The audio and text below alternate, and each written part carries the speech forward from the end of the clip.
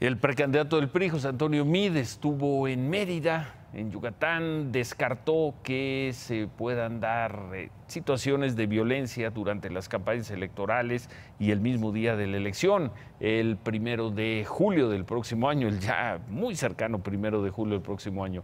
En un mítico, José Antonio Mid se comprometió a mejorar las políticas públicas en favor de las mujeres que en México nunca se le falte el respeto a una mujer y que en México siempre, desde el gobierno, con buena política pública, les demos mejores oportunidades de seguir siendo siempre las protagonistas de nuestro desarrollo. Y con esas mujeres vamos a ganar.